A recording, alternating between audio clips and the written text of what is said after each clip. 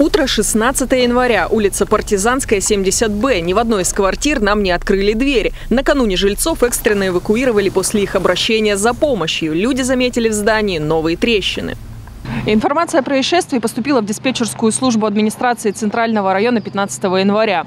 В здании два подъезда и два этажа. Всего 12 квартир. Ранее жилье аварийным не признавали.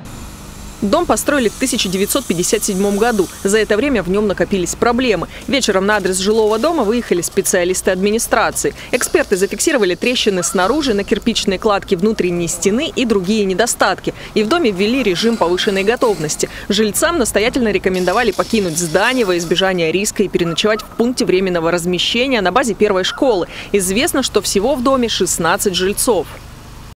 Пункт был развернут на 40 а, мест предварительно. А, по состоянию на 23 часа вчерашнего дня заселение не произошло. А, комната до сих пор существует, жилое помещение оборудовано, мы ожидаем жильцов, но по предварительной информации все жильцы отказались для переезда в пункт временного размещения, то есть разместились у родственников. Сегодня утром власти провели заседание комиссии по предупреждению и ликвидации ЧС. На нем обсудили техническое состояние двухэтажки.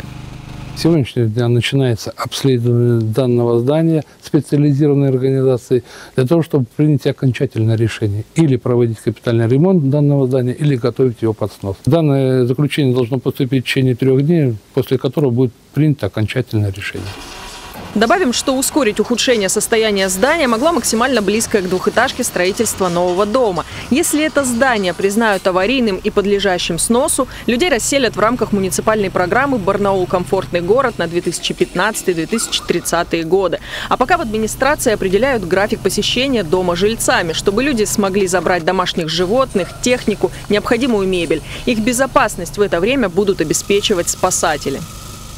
Юлия Щепина, Дмитрий Денисов. День с толком.